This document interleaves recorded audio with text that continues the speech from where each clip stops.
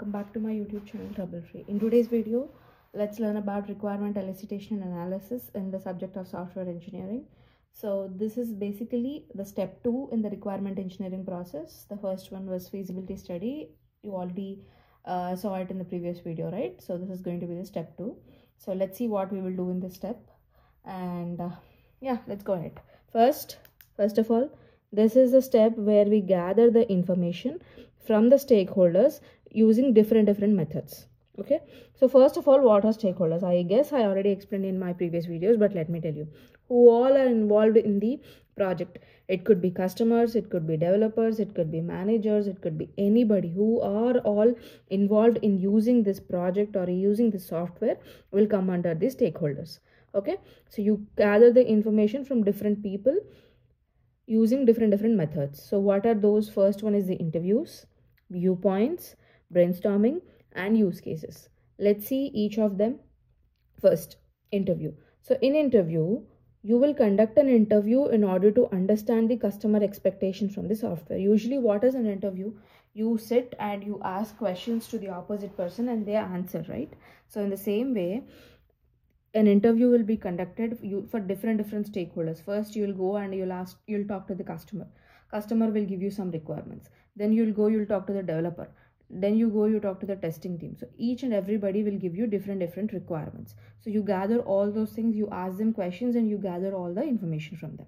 And this uh, interviews could be of two types first one is the open-ended and the second one is closed or structure. So what do you mean by open-ended? That means there is no um, agenda. What do you mean by agenda? Agenda is nothing but meeting plan. So there is no predefined agenda. There is no predefined context or you know there is no predefined questions like you have to ask only these questions. It basically goes as a discussion.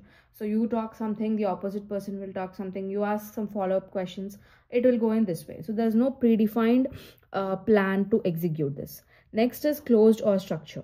What do you mean by closed or structure? That means it will focus on a particular topic. Like let's say you want to uh, know about front end only front end how the front end should look or you want to know about how many buttons you want to have in the front end what all buttons you want to have in the front end and where you want to uh, show that buttons on the front end. So all like a particular topic will be focused on okay?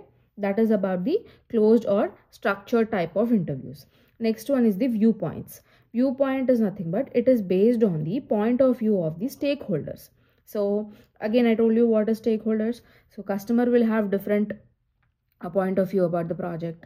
The developer will have different pov uh, the testing team will have different pov so different different people will have different different point of views right? You'll collect all their point of views and you'll come up with uh, something from that. Okay? That is viewpoints. Next is the brainstorming. So in brainstorming what will happen is many people will gather at one place and they will put all their ideas in the group. What all they think what all they need everything will be uh, they'll just sit and they'll just talk about it okay? After talking about it all the ideas or the best ideas or whatever they stock will be uh, documented and from these documentation uh, you will be picking the requirements which which which are you know which you think are very important okay? So next is the uh, use cases the other method. Uh, not only these four not only interviews viewpoints brainstorming interviews there are so many other different techniques but these are like the most common techniques we can say. In use cases you will be combining the text and pictures together and it will provide you with a better understanding of the requirements. So um, like it is always better to understand it in the form of pictures right? Pictures means don't assume like you know uh, normal fancy fancy pictures and colors and all. Nothing will be there. You'll be having use case diagrams. Uh, hope i think we will be discussing about use, use case diagrams in the coming videos.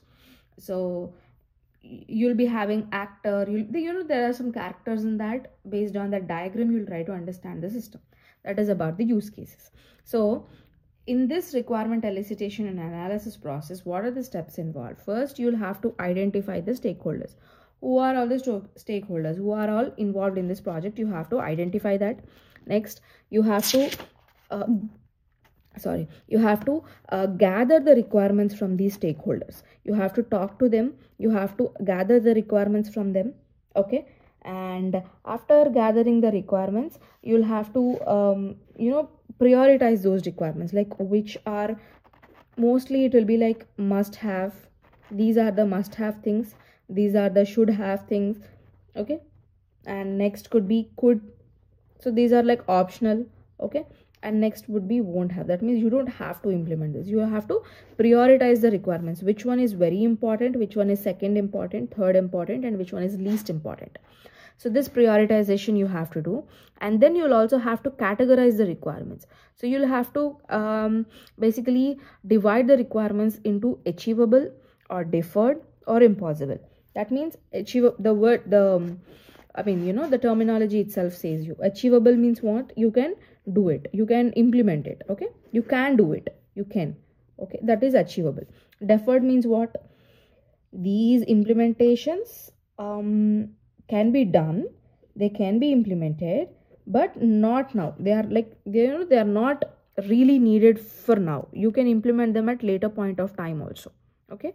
You can implement them later these are called the deferred. You ba basically defer them. Deferring is nothing but postpone them. You do it later. If you have time you have resources you have everything then you'll do it later. And impossible are something which you cannot be uh, doing okay? This can't be done. And these impossible requirements should be removed from the list of the requirement. And they should be removed from the SRS as well because they cannot be implemented. You don't have uh, enough things in your hand to implement this. So those kind of requirements can be eliminated. Okay. So this is about the requirement elicitation and analysis. It is a very simple thing. So it's, it's basically a step it is a step where you gather the information from the stakeholders stakeholders are nothing but customers developers everybody and in that you have different different techniques you conduct interviews you conduct you take their viewpoints that means their point of views. You conduct brainstorming sessions and you explain it using use cases and all. And in these what are the steps involved? First you will identify the stakeholders. Then you will gather all the requirements from these stakeholders. You will conduct all these four methods and you will gather the requirements from them and after that you will prioritize your requirements. Once you prioritize your requirements you will categorize them as well. You will categorize them into achievable or deferred or impossible. So this is all for this video guys. Thanks for watching the video till the end. So in the next video let's learn about the second i mean the remaining steps in the uh, requirement engineering process. And also let me know if you want any other videos. Let me know that in the comment section. So yeah that's all guys. Thanks for watching the video till the end. Let's meet up soon in the next coming video. Thank you